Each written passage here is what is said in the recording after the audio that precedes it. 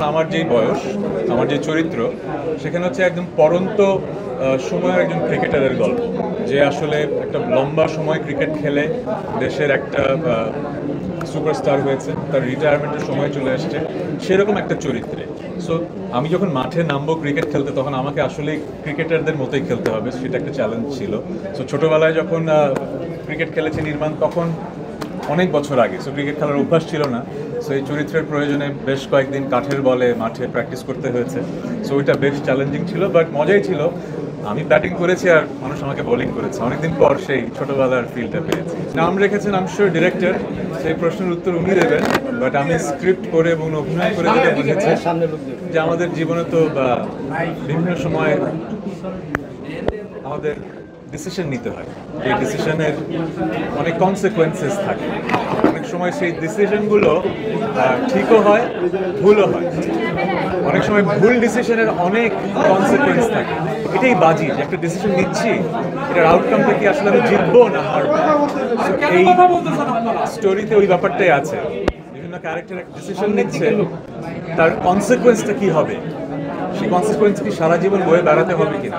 সেই ক্ষেত্রেই বাজি। যে কোনো চরিত্রে আসলে সময় দিতে হয়। এই চরিত্রটা বেশি চ্যালেঞ্জিং ছিল। বাজি ধরিনি কখনো, না, বাজি ইন্টারেস্ট জাগেনি আমি তখন ভাই বলতে চাচ্ছি বাজিটা আসলে আপনার প্রেমিকের, প্রেমিকার জন্য, দেশের জন্য বা একটা জাতির জন্য হ্যাঁ কিসের জন্য আপনি এই বাজিটা ধরেছেন? আমি বাজি ধরিনি। যারা ওয়েব সিরিজটা দেখবেন, তারা বুঝতে পারবেন যে গল্পে আসলে বাজির মাল্টিপল লেয়ার্স আছে। একটা ভালো গল্প কিন্তু ইউনিডিমেনশনাল হয় না।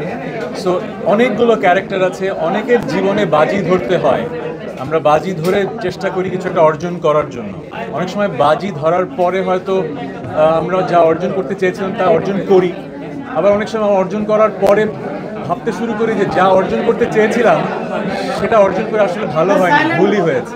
বাজিতে আমার সহশিল্পী ছিলেন নিম্মান তাসা তার চরিত্র ছিল আমার সহধর্মিনী। কেমিস্ট্রিটা খুবই কমপ্লেক্স অনেক আর যেটা হয় যে একজন সফল মানুষের জীবনটা আমরা বাইরে থেকে যেভাবে দেখি, তার ঘরের জীবনটা কতটা কঠিন হতে পারে এবং বাহ্যিক প্রভাব কীভাবে তার জীবনটাকে এফেক্ট করে সেটা হয়তো আমার আর মিম্মান্তাসার ক্যারেক্টারের ওই কেমিস্ট্রিতে আপনারা দেখতে পারবেন। আমি আসলে সেই সিনেমাটা দেখিনি তো আমি বলতে পারছি। হাসান ভাই আচ্ছা আমি বলি। আচ্ছা এই প্রশ্নটা আমি একটু উত্তর দিয়ে আপনারা শুনবেন? ওনার সুন্দর প্রশ্নটা হচ্ছে কতদিনের প্রিপারেশন নিয়েছেন? তো আমি তো আসলে অনেক বছরই গান শেখার পরে গানের জগতে পদার্পণ করি। তো গানের জগতে পদার্পণের পরে এক ধরনের কনফিডেন্স ছিল, যেহেতু আমি শিখে এসেছি, আমি জানি, আমি গান লিখতে পারব, সুর করতে পারব, গাইতে পারব, এবং মানুষ আমার গান নিয়েছে। কিন্তু যখন সেলিব্রিটি হওয়ার পরে টিভি চ্যানেলস ডিরেক্টরস আমাকে অভিনয়ের জগতে আমন্ত্রণ জানালো, শুরুর দিকে কিন্তু শখেই একটা দুটো কাজ করেছে।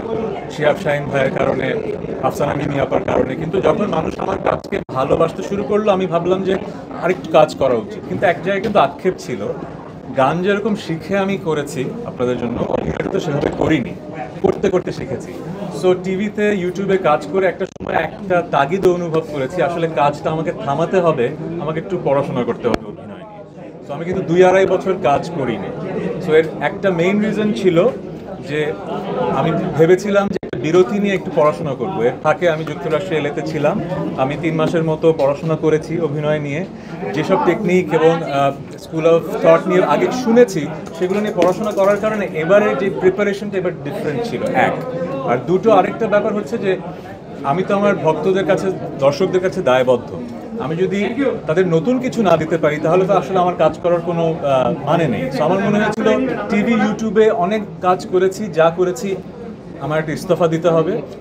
ওটিটিতে ভালো কাজ হচ্ছে স্পেশালি চোরকি খুব ভালো কাজ করছে। সো গ্যাপ দেওয়ার দুটো কারণ ছিল। একটা হচ্ছে নিজেকে আরেকটু শিক্ষিত করা ইন দ্য ক্রাফট অফ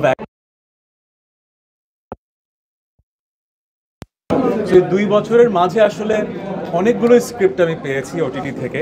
কিন্তু ওটিটির একটা কালচার আমরা দেখতে পাচ্ছি বেস নেগেটিভ চরিত্র বেস কিন্তু যখনই আমি স্ক্রিপ্টগুলো পেয়েছিলাম, আমার আসলে ওই চরিত্রগুলো আমাকে টানেনি।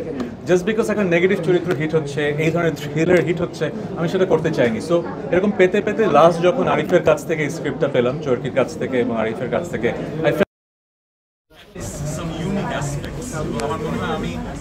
চরিত্রটাকে জাস্টিস করতে পারব। এই কারণেই আসলে এই গল্পটা দিয়ে আমার রসিক